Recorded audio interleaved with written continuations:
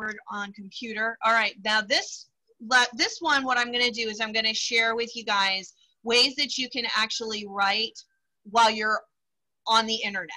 So, for example, and I'm sorry, but I always use Eureka. My poor sixth grade teachers are probably ready to throttle me for it. Um, but because I know you guys don't use it, but it's a good way just to kind of model. Look, if there's a PDF on the screen, I want to write on it. How do I do it? So I'm going to look at lesson 17 because that's my lesson tomorrow. Um, and one of the things that I was really struggling with was what do I do since I can't write on Google Slides? Well, I figured out a way to write on Google Slides too. So I'm going to pull up a Google slide for you guys. And, oops, I didn't uh, share my screen. Second, let me do that. Amy, are you really writing on it or are you just going to be using the annotation from your um, Zoom meeting? I am going to really write on it. Okay, cool. Um, so let me share my screen. All right, so on this, I don't know if my presentation is going to, oh good, it did. It popped up for you guys. All right, so I am on this. Okay, we're just gonna make it easy. I'm not gonna go looking through us for the right slide. So let's just say I wanna do a quick lesson on this. Well, one of the things that, okay, so I can't do it on this screen. Yes, I can. What I did was I added an add-on.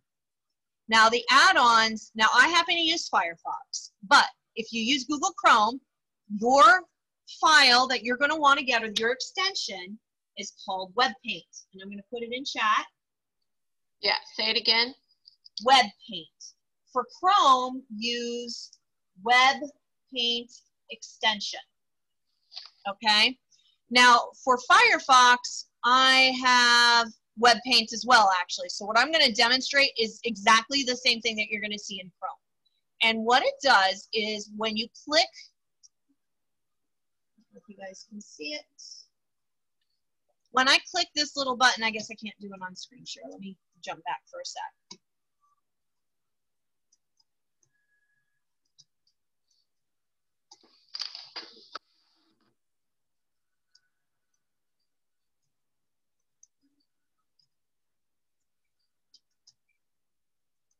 Probably because I had my extension. Okay. There we go. Um, let me share my screen again so you guys can see what I just did once you install WebPaint, you'll have a little artist's palette up here in the top right corner. And whether you're using Firefox or Chrome, you'll see it right here, easy to use. You just click it and it pops up this tool right here. You guys see it? And you can just click pen. Voila.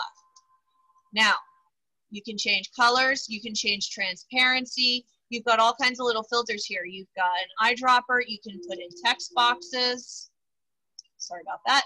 You could add in text right into your slides. And I'm doing this all on Google Slides. Now, if I click the present button, the one thing you got to remember is to go back to your pointer to be able to click like a mouse. If I go onto the pop-up screen, notice that I don't have that little palette here. I have to actually go to my add-ons, and I'm not sure if it'll actually work in presenter mode. There it is.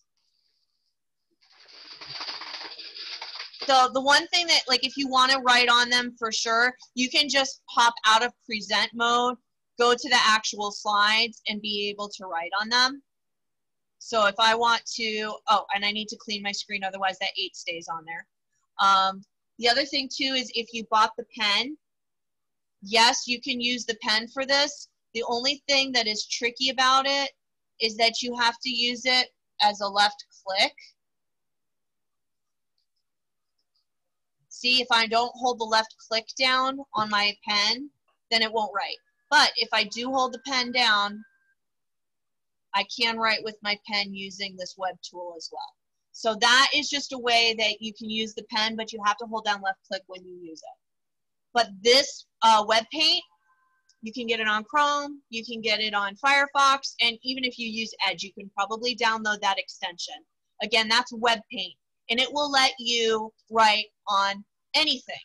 So even on your Launchpad, and you're tired of telling the kids for the 15th time which thing to point to, which thing that they're supposed to click on, you can say, please click on focus. It is right here. You can draw on any online picture. If it's if it's on the internet, if you're in a browser, you have web paint. It's right there. Because it's an extension it will always use. Now, if I leave if I leave Firefox, I leave Chrome, now I no longer have that option. But anytime you're online, you can pull up a PDF online or Google Slides online. You have this to work with.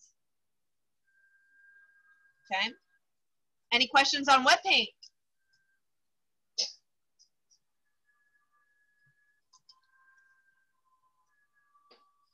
I'm going to stop sharing so I can see chat. Now I have to switch over. Okay. Thank you, Cindy. You guys can unmute to talk. As long as we're not all talking at the same time, we won't have um, uh, too much feedback. Okay, so I, at the beginning of the school year, was really frustrated um, trying to figure out how to teach hybrid um, at the same time, like teaching the math lesson at the very same time. And my biggest hurdle was teaching Eureka because I always used the Google Slides. And I thought there's got to be a way I can write on Google Slides on my computer screen and not have to use my big screen because I always would run Google Slides, click forward with my mouse while being in front of my classroom, and then use markers on my whiteboard. Well, when I hurt my foot last year, one of the things I was doing was I was using Google Slides from my desk and I was using my mouse back here to write, but it was really sloppy. And I was like, mm, and that wasn't working so well. So that's why I tried the pen. And now I've just kept going with it. And one of the things that I researched when I got the pen is how can I write on Google Slides? And one of the videos that I found was to, to download in an extension that gives you that palette. And the one that I found was Web Tools uh, or the Web Paint. So I played around with it at home. Um, I had problems with my pen working, and then I realized, well, duh, it's because the mouse you have to left click to draw, well, I had to program left click to my pen to make it work. And that took me, a little I, it should have come to me sooner, but it didn't. So it was really just kind of play, playing around with the technology I had and what I wanted it to do.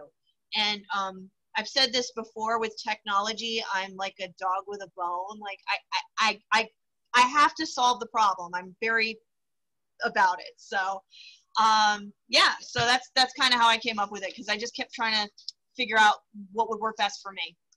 And hopefully this is something you guys can use. Um, I felt like it was something that a lot of people could. Well, thank you. any other questions? Do you guys have any questions on other stuff? It doesn't have to be about teacher made or web paint, or if you do, you can speak up now.